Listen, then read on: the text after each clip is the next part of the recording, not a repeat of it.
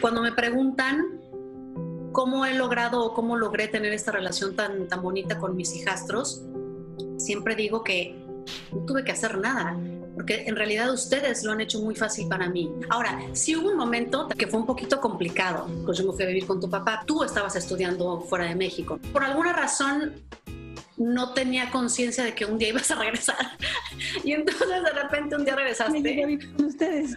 Exacto. Y yo dije, bueno, pues yo ya estoy acostumbrada a vivir aquí porque yo ya vivía ahí antes que tú. Entonces yo decía, bueno, pues nada más este, es lo mismo de siempre, ¿no? Nada más cambió, cambió la madrastra, pero llevaba al novio y se, luego se quedaba ahí tres días. Y luego cuando así de, oigan, nos, nos traen el desayuno a la, a la recámara y yo, no, bueno, yo me salía fuego así, güey, por las orejas.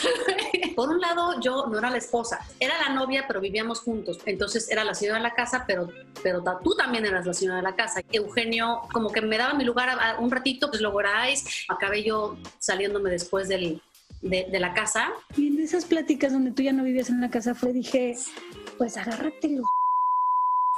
Y ya, decide. Él necesitaba como esa, como esa aprobación tuya para poder dar ese paso. Cuando tú te embarazaste y estabas embarazada, ¿te acuerdas? Fue también cuando, yo conocí a Mauricio. Fue la primera vez que yo decidí ya no poner a mi papá antes que a una pareja, ¿no? Me acuerdo que una vez este, Mau y yo entramos en un conflicto y me separé de él un rato y me fui a vivir con ustedes otra vez, cuando apenas Mau y yo teníamos muy poquito de andar. Justo cuando estaba Aitana, este, chiquitita. Fuiste un ángel, me hacías de desayunar todos los días. Estaba practicando para Mauricio. Tu posparto, yo me acuerdo perfecto que, digo, ¿cómo le haces? ¿Cómo sobrevives? ¿Será que esto yo también lo voy a vivir? Y sí.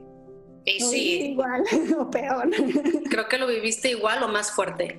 Y tú también ya fuiste o ya eres la madrastra. Desde que yo conocía a Lorenza, a la hija de Mao, en, ese tiempo que fui su madrastra, que fueron estos casi seis años, yo nunca la vi a ella como, como un obstáculo, ni tampoco la vi a ella como una amenaza, ni como una competencia. Yo me dediqué a ser su amiga a todo lo que da.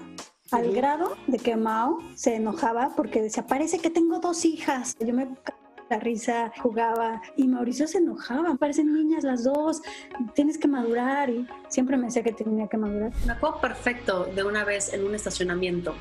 A ti y a Lorenza les dio un ataque de risa. No había poder humano que las detuviera. Y todos nos volteábamos a ver. Pues Mao se enojaba siempre. O sea, al principio me acuerdo perfecto que le encantaba. Y ya después de media hora me decía, ya empezó la hora de la risa, happy hour. Ya van a empezar otra vez. Hay una parte en la que me conecto como con la niña chiquita. Con tu niña. Me pongo, a, hacer por estupidez. Me divierto mucho, pero sí necesito como alguien que se conecte conmigo. ¿Te gustó lo que acabas de ver? Pues tenemos más videos que seguramente serán mejores que, que acabas de ver. No te olvides de suscribirte a nuestro canal acá para que disfrutes de todo lo que tenemos para ustedes. Por ahora, eh, eh, también un like sería chévere.